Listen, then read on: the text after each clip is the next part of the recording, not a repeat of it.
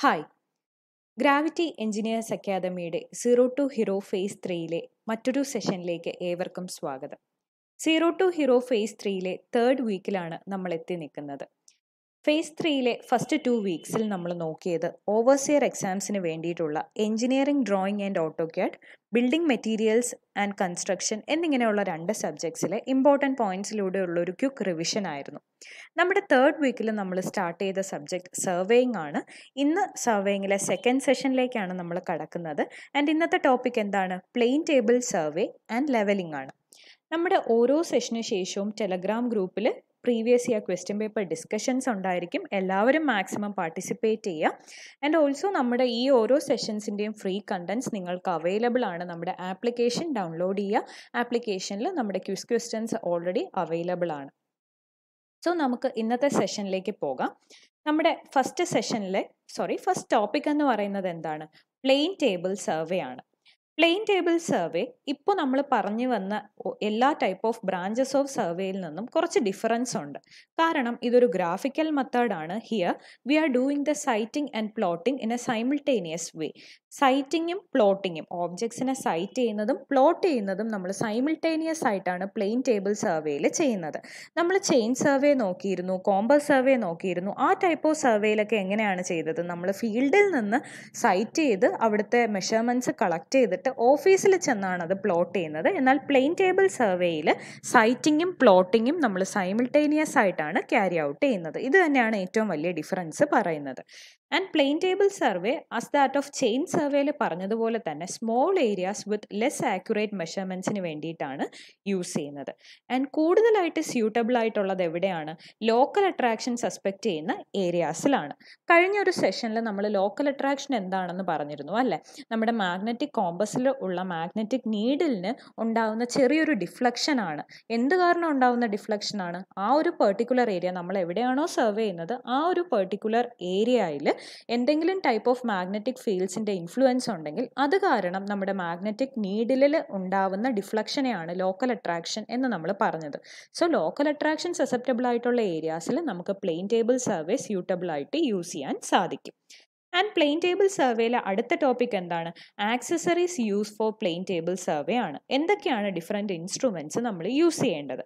First one drawing table with tripod ആണ്. Drawing table എന്ന് പറയുന്നത് നമുക്ക് പലതായിട്ട് ക്ലാസിഫൈ ചെയ്യാം. മെയിനായിട്ട് നമ്മൾ യൂസ് ചെയ്യുന്ന ഡ്രോയിങ് ടേബിൾസ് ആണ് traverse table coast survey table and Johnson's table ഇതിങ്ങനെ ക്ലാസിഫൈ ചെയ്യുന്നത് based on the method of levelling ആണ്. നമ്മൾ ഓരോ ടേബിളും എങ്ങനെയാണ് ലെവൽ ചെയ്യുന്നത് എന്നനുസരിച്ചിട്ടാണ് ഈ ഡ്രോയിങ് ടേബിൾ ക്ലാസിഫിക്കേഷൻസ് വരുന്നത്. ട്രാവേഴ്സ് ടേബിൾ എന്ന് പറയുന്നത് നമ്മൾ ലെവലിംഗ് ചെയ്യുന്നത് ലെഗ് അഡ്ജസ്റ്റ്മെന്റ് വച്ചിട്ടാണ്. കോസ്റ്റ് സർവേ ടേബിൾ എന്ന് പറയുന്നത് ഒരു ഹൈ പ്രിസൈസ് വർക്ക്സിന് വേണ്ടിയിട്ട് യൂസ് ചെയ്യുന്ന ഡ്രോയിങ് ടേബിൾ ആണ്. അത് ഓർത്ത് വയ്ക്കുക for high precise works we are using co survey table as the drawing table in plane table survey and co survey ടേബിളിൽ എങ്ങനെയാണ്? അവിടെ നമുക്ക് മൂന്ന് ഫുഡ് സ്ക്രൂസ് തന്നിട്ടുണ്ടായിരിക്കും ലെവലിങ്ങിന് വേണ്ടിയിട്ട്. And finally there is Johnson's table Johnson's table ആണെങ്കിൽ അവിടെ ഒരു ബോൾ ആൻഡ് സോക്കറ്റ് അറേഞ്ച്മെന്റ് ഉണ്ട്. അത് യൂസ് ചെയ്തിട്ടാണ് നമ്മൾ ലെവലിംഗ് ക്യാരി ഔട്ട് ചെയ്യുന്നത്. ആൻഡ് ജോൺസൺസ് ടേബിളിൽ നമ്മൾ കൂടുതലായിട്ട് യൂസ് ചെയ്യുന്ന ഡയമെൻഷൻ ആണ് sixty centimetre by seventy five centimetre so drawing table with tripod ആണ് നമ്മൾ പ്ലെയിൻ ടേബിൾ സർവേയിൽ പറയുന്ന ആദ്യത്തെ ആക്സസറി. നമുക്ക് സെക്കൻഡ് ആക്സസറി നോക്കാം. ദാറ്റ് ഇസ് അലിഡേഡ് ആണ്. അലിഡേഡ് എന്ന് പറയുന്നത് മെയിൻലി രണ്ടായിട്ട് ക്ലാസിഫൈ ചെയ്തിട്ടുണ്ട്. Plain alidade and telescopic alidade ആ ഫിഗേഴ്സ് ആണ് താഴെ കാണിച്ചിരിക്കുന്നത്. അലിഡേഡ് എന്ന് പറയുന്നത് നമുക്ക് ഇൻസ്ട്രുമെന്റ്സ് ഈ ഒരു ഇൻസ്ട്രുമെന്റ് യൂസ് ചെയ്ത് നമുക്ക് നമ്മുടെ ഫീൽഡിൽ വരുന്ന ഓബ്ജക്ട്സിനെ സൈറ്റ് ചെയ്യാനും പറ്റും. അതുപോലെ ലൈൻസ് ഡ്രോ ചെയ്യാനും ഒരു റൂളറായിട്ട് യൂസ് ചെയ്യാനും സാധിക്കും. അലിഡേഡിൽ നിന്ന് വരുന്ന ഒരു ഇമ്പോർട്ടന്റ് ക്വസ്റ്റ്യൻ ആണ് അതിന്റെ വർക്കിംഗ് എഡ്ജിന്റെ പേര്. That is known as fiducial edge അല്ലെങ്കിൽ ബിവൾഡ് എഡ്ജ് എന്ന് പറയും. ഓക്കെ ഇതാണ് ആ കാണിച്ചിരിക്കുന്ന വർക്കിംഗ് എഡ്ജ്. ഇനി നമ്മൾ ഓൾറെഡി പറഞ്ഞു പ്ലെയിൻ അലിഡേഡ് ടെലസ്കോപ്പിക് അലിഡേഡ് എന്നിങ്ങനെ ഡിവൈഡ് ചെയ്തിട്ടുണ്ട്. ഈ ഫസ്റ്റ് ഫിഗർ ആണ് പ്ലെയിൻ അലിഡേഡ് എന്ന് പറയുന്നത്. ഇവിടെ ഒരു ഐ വെയിൻ ഉണ്ടായിരിക്കും ഓബ്ജക്റ്റ് വെയിൻ ഉണ്ടായിരിക്കും. ഇവിടെ വഴിയാണ് നമ്മൾ സൈറ്റ് ചെയ്യുന്നത്. ആൻഡ് ഈ പ്ലെയിൻ അലിഡേഡ് നമ്മൾ യൂസ് ചെയ്യുന്നത് ഓർഡിനറി വർക്ക്സിന് വേണ്ടിയിട്ടാണ്. ഹൊറിസോണ്ടൽ ലൈൻസ് ഡ്രോ ചെയ്യാനും ഹൊറിസോണ്ടൽ ഡിസ്റ്റൻസ് മെഷർ ചെയ്യാനും ഒക്കെയാണ് പ്ലെയിൻ അലിഡേഡ് യൂസ് ചെയ്യുക. എന്നാൽ ടെലസ്കോപ്പിക് അലിഡേഡ് എന്ന് പറയുന്നത് ഈ സെക്കൻഡ് ഫിഗർ ആണ്. ടെലസ്കോപ്പിക് അലിഡേഡ് നമ്മൾ കോണ്ടൂർ മാപ്സിന്റെ പ്രിപ്പറേഷന് വേണ്ടിയിട്ടാണ് കൂടുതലും യൂസ് ചെയ്യുന്നത്. അതുപോലെ അവിടെ ഹൊറിസോണ്ടൽ മെഷർമെന്റും വേർട്ടിക്കൽ ഡിസ്റ്റൻസ് മെഷർമെന്റും പോസിബിൾ ആണ്. ഒരു ഡിഫറൻസ് കൂടെ ഉണ്ട്. പ്ലെയിൻ അലിഡേഡ് ആണെങ്കിൽ നമുക്ക് എടുക്കാൻ പറ്റുന്നത് ഹൊറിസോണ്ടൽ ലൈൻ ഓഫ് സൈറ്റ് മാത്രമാണ്. എന്നാൽ in case of telescopic alidade we can also go for inverted ആയിട്ടുള്ള അല്ലെങ്കിൽ ഇൻക്ലൈൻഡ് ആയിട്ടുള്ള ലൈൻ ഓഫ് സൈറ്റും പോസിബിൾ ആണ്. നെക്സ്റ്റ് ആക്സസറി നോക്കാം. That is U frame plumbing ഫോർക്കാണ് ഇവിടെ ഈ ഫസ്റ്റ് ഫിഗറിൽ കാണിച്ചിരിക്കുന്നതാണ് നമ്മുടെ യു ഫ്രെയിം പ്ലംബിംഗ് ഫോർ ഇത് യൂസ് ചെയ്തിട്ട് നമുക്ക് നമ്മുടെ ഡ്രോയിങ് ഷീറ്റിലുള്ള പോയിന്റ്സിനെ ഗ്രൗണ്ടിലേക്കോ അല്ലെങ്കിൽ ഗ്രൗണ്ടിലുള്ള പോയിന്റ്സ് ഡ്രോയിങ് ഷീറ്റിലേക്കോ നമുക്ക് ട്രാൻസ്ഫർ ചെയ്യാനായിട്ട് പറ്റും. അതുപോലെ സെന്ററിങ് എന്നുള്ളൊരു സെറ്റിങ്ങും നമുക്ക് ഈ ഒരു U frame plumbing fork use ചെയ്ത് ചെയ്യാം. അതിന്റെ അറ്റത്ത് നമുക്ക് അവിടെ ഒരു ഹൂക്ക് ഉണ്ടായിരിക്കും. അവിടെയാണ് നമ്മൾ പ്ലം ബോബിനെ കണക്ട് ചെയ്യുന്നത്. നെക്സ്റ്റ് ആക്സസറി അല്ലെങ്കിൽ ഇൻസ്ട്രുമെന്റ് എന്ന് പറയുന്നത് സ്പിരിറ്റ് ലെവലാണ് ആ ടേമിൽ തന്നെ ഉണ്ട് അല്ലേ? നമ്മുടെ ടേബിളിനെ ലെവൽ ചെയ്യാൻ വേണ്ടിയിട്ടാണ് നമ്മൾ സ്പിരിറ്റ് ലെവൽ അല്ലെങ്കിൽ ബബിൾ ട്യൂബ് എന്ന് പറയാറുണ്ട് അത് യൂസ് ചെയ്യുന്നത്. And final one is trough compass ആണ്. ട്രഫ് ഫിഗർ ആണ് ഇവിടെ കാണിച്ചിരിക്കുന്നത്. ട്രഫ് കോമ്പസ് യൂസ് ചെയ്തിട്ടാണ് നമ്മൾ നമ്മുടെ പ്ലെയിൻ ടേബിളിന്റെ മാപ്പിൽ നോർത്ത് ഡയറക്ഷൻ മാർക്ക് ചെയ്യുന്നത്. ആൻഡ് ഇതിന്റെ അകത്ത് ഒരു magnetic നീഡിലുണ്ട് trough compass more or less ഒരു റെക്ടാങ്കുലർ ഷേപ്പിലാണ് അവൈലബിൾ ആവുന്നത്. ഓക്കെ അതിന് ഒരു പിവറ്റ് ഉണ്ടായിരിക്കും. ആ ഒരു പിവറ്റ് വെച്ചിട്ടാണ് നമ്മുടെ മാഗ്നറ്റിക് നീഡിൽ അവിടെ ഇൻക്ലൈൻ ചെയ്യുന്നത്.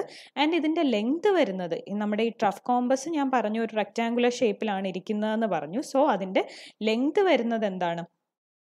എയ്റ്റ് ടു ഫിഫ്റ്റീൻ സെന്റിമീറ്റേഴ്സ് ആണ്. ഇതാണ് ആ ലെങ്ത് വരുന്നത്. എയ്റ്റ് ടു ഫിഫ്റ്റീൻ സെന്റിമീറ്റേഴ്സും വിട്ത് വരുന്നത് ത്രീ സെന്റിമീറ്റേഴ്സും ആയിരിക്കും. ഇനി നമുക്ക് നോക്കേണ്ടത് പ്ലെയിൻ ടേബിൾ സർവേയിൽ വരുന്ന temporary adjustments ഏതൊക്കെയാണെന്നാണ്. First one setting up of the table ആണ്. അതായത് നമ്മൾ ടേബിൾ നമ്മുടെ ട്രൈപോർട്ടിന് മുകളിലേക്ക് ഫിക്സ് ചെയ്യുക എന്നുള്ളതാണ് first stage of temporary adjustment second one centring ആണ് ഇവിടെ നമ്മൾ ചെയ്യുന്നത്. ഗ്രൗണ്ടിലുള്ള പോയിന്റിനെ ആക്യുറേറ്റ് ആയിട്ട് നമുക്ക് പേപ്പറിലേക്ക് പ്രസന്റ് ചെയ്യുക എന്നുള്ളതാണ്.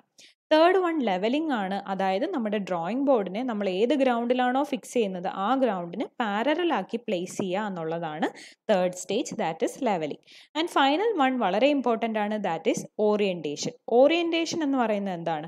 The process of keeping the plane into a certain direction in such a way that a line drawn on the plane must be made parallel to the corresponding line on the ground ഗ്രൗണ്ടിൽ ഒരു line നമ്മൾ വരയ്ക്കുന്നുണ്ടെങ്കിൽ അതിന് correct parallel ആയിരിക്കണം നമ്മുടെ drawing ബോർഡിലെ പ്ലെയിനിൽ നമ്മൾ വരയ്ക്കുന്ന ലൈൻ എന്ന് പറയുന്നത്. അതായത് ഒരു പെർട്ടിക്കുലർ ഡയറക്ഷനിലേക്ക് നമുക്ക് ഓറിയന്റ് ചെയ്ത് കിട്ടണം. അതിനാണ് ഓറിയന്റേഷൻ ചെയ്യുന്നത്.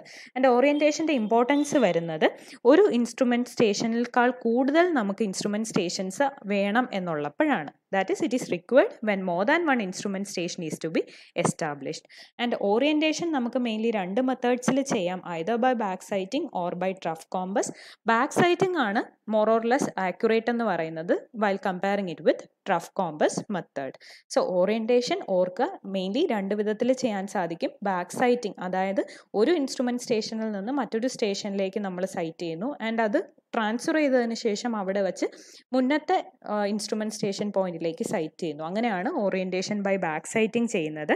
And also there is orientation by trough compass ഇനി നോക്കേണ്ടത് മെത്തേഡ്സ് ഓഫ് പ്ലെയിൻ ടേബിളിംഗ് ആണ്. മെയിൻലി നാല് മെത്തേഡ്സ് ആണുള്ളത്. Radiation intersection traversing and resection radiation and intersection ഈ പറഞ്ഞ ഫസ്റ്റ് ടു മെത്തേഡ്സ് നമ്മൾ യൂസ് ചെയ്യുന്നത് പൊസിഷൻ ഓഫ് പോയിന്റ്സ് കണ്ടുപിടിക്കാൻ വേണ്ടിയിട്ടാണ്. So radiation is used when points are visible and accessible ഇത് വളരെ ഇമ്പോർട്ടന്റ് ആണ്. പോയിന്റ്സ് വിസിബിളും ആക്സസിബിളും ആയിട്ടുള്ളപ്പോൾ നമ്മൾ യൂസ് ചെയ്യുന്ന type of plane plane tabling എന്ന് പറയുന്നത് റേഡിയേഷൻ മെത്തേഡ് ആണ്. ആൻഡ് ഇവിടെ നമ്മൾ പൊസിഷൻ ഓഫ് പോയിന്റ്സ് ലൊക്കേറ്റ് ചെയ്യുന്നുണ്ട് ബൗണ്ടറീസ് പ്രിപ്പയർ ചെയ്യുന്നുണ്ട് ആൻഡ് അങ്ങനെ പ്രിപ്പയർ ചെയ്ത ബൗണ്ടറിയുടെ അകത്തുള്ള ഏരിയയും ഡിറ്റർമിൻ ചെയ്യാനായിട്ട് യൂസ് ചെയ്യുന്നുണ്ട്. സെക്കൻഡ് മെത്തേഡ് എന്താണ്? ഇന്റർസെക്ഷൻ മെത്തേഡാണ് ഇന്റർസെക്ഷൻ മെത്തേഡ് നമ്മൾ ഇനാക്സസിബിൾ പോയിന്റ്സിന്റെ പൊസിഷൻസ് പ്ലോട്ട് ചെയ്യാനായിട്ടാണ് യൂസ് ചെയ്യുന്നത്. ഇവിടെ നമുക്ക് കാണാം ഇപ്പോൾ എ ആൻഡ് ബി എന്ന് പറയുന്ന രണ്ട് പോയിന്റ്സ് രണ്ടും നമുക്ക് ഇനാക്സസിബിൾ ആണെന്ന് വിചാരിക്കുക. അങ്ങനെയാണെങ്കിൽ നമ്മൾ ആദ്യം ഒരു സ്റ്റേഷനിൽ ഇൻസ്ട്രുമെന്റ് സെറ്റ് ചെയ്തതിന് ശേഷം അങ്ങോട്ടുള്ള റേ പ്ലോട്ട് ചെയ്യുന്നു. ആൻഡ് അതിനുശേഷം ഒരു പെർട്ടിക്കുലർ ഡിസ്റ്റൻസ് മാറി നമ്മൾ നമ്മുടെ ഇൻസ്ട്രുമെന്റിനെ സെക്കൻഡ് പോയിന്റിലേക്ക് ഷിഫ്റ്റ് ചെയ്യുന്നു. അവിടെ വെച്ച് നമ്മൾ ആ പോയിന്റിനെ പ്ലോട്ട് ചെയ്യുന്നു. ഈ റേസ് ഇന്റർസെക്റ്റ് ചെയ്യുന്ന പോയിന്റിലായിരിക്കും ആ പൊസിഷൻ വരുന്നത് എന്നുള്ള രീതിയിലാണ് ഇന്റർസെക്ഷൻ ചെയ്യുന്നത്. സോ ഇവിടെ ഇമ്പോർട്ടന്റ് ആയിട്ടുള്ള ഒരു ടേം ആണ് ബേസ് ലൈൻ എന്ന് പറയുന്നത്. ഈ വരുന്നതാണ് നമ്മുടെ ബേസ് ലൈൻ ബേസ് ലൈൻ നമ്മൾ എന്താണ്? പ്രിസൈസ് ആയിട്ട് വേണം മെഷർ ചെയ്യാൻ because with respect to base line ആണ് നമ്മുടെ പോയിന്റ്സിന്റെ പൊസിഷൻസ് നമ്മൾ പ്ലോട്ട് ചെയ്യുന്നത്.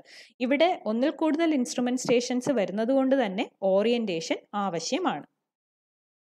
നെക്സ്റ്റ് ടു മെത്തേഡ്സ് എന്ന് പറയുന്നത് എന്താണ്? ട്രാവേഴ്സിങ്ങും റിസക്ഷനുമാണ് ഈ രണ്ട് മെത്തേഡ്സും യൂസ് ചെയ്യുന്നത് പ്ലെയിൻ ടേബിളിന്റെ സ്റ്റേഷൻസ് ലൊക്കേറ്റ് ചെയ്യാൻ വേണ്ടിയിട്ടാണ്. അത് വളരെ ഇമ്പോർട്ടന്റ് ആണ് ആ ഒരു point so it is use for locating plane table stations and traversing നമുക്കിപ്പോൾ കോമ്പസ് സർവേയിൽ ചെയ്യാമെങ്കിൽ അതിനെ കോമ്പസ് ട്രാവേഴ്സിംഗ് എന്ന് പറയും. പ്ലെയിൻ ടേബിൾ വെച്ച് ചെയ്താൽ അതിനെ പ്ലെയിൻ ടേബിൾ ട്രാവേഴ്സിംഗ് എന്ന് പറയും.